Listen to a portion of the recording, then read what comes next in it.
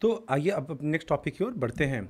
Next topic is transfer income versus factor income देखो transfer income क्या होता है?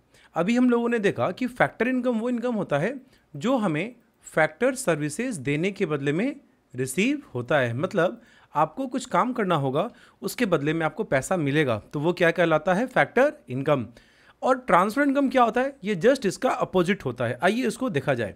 Transfer income are those income which are received by a person as help donation और charity ई जो free में मतलब एज ए डोनेशन बिना किसी सर्विसेज़ दिए आपको मिल गए। फ्री ऑफ़ कॉस्ट बस आपको मतलब किसी ने इमोशनल होके या आ, ऐसे आपको डोनेशन कर दिया। तो वो होता है transfer income no factor services are rendered for generating this income in, इस इनकम को जनरेट करने के लिए कोई फैक्टर सर्विसेज़ देने की आवश्यकता नहीं होती है। और इसीलिए हम नेशनल इनकम में कभी भी इसको ऐड नहीं करते हैं, क्योंकि नेशनल इनकम में सिर्फ़ वही पैसा ऐड होता है जिसके लिए आपने कोई सर्विसेज़ दी हैं। आपको कुछ काम करना होगा।